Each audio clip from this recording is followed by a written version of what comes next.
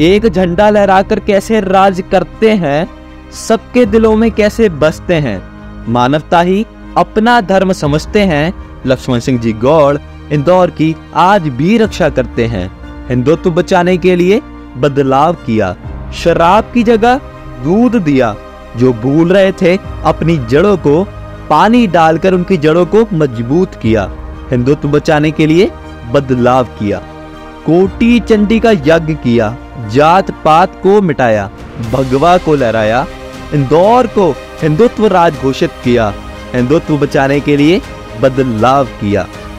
हिंदू संस्कृति बचाने के लिए हिंद रक्षक बनाया, फाग यात्रा का नवीनीकरण किया, इंदौर को सनातन धर्म का सिरमौर बना दिया। लक्ष्मण सिंह जी गौड़ ने इंदौर को क्या से क्या बना दिया।